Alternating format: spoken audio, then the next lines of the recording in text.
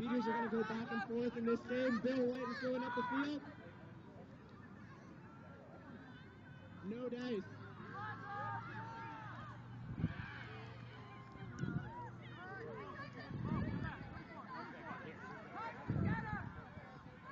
This is Carleton a, passes it up. that's Allison 44. He's one of their fastest new guys. And is that a goal for Carleton? No, I'm looking at it. No goal.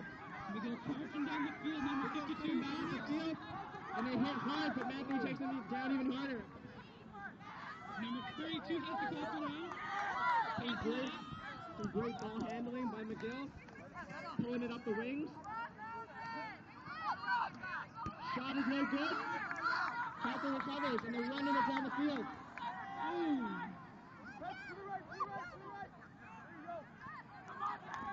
Carleton has the ball. Just taken down pretty hard. A little goal on goal action. McGill spaced out beautifully on the field, and that's a goal! 20 to 10.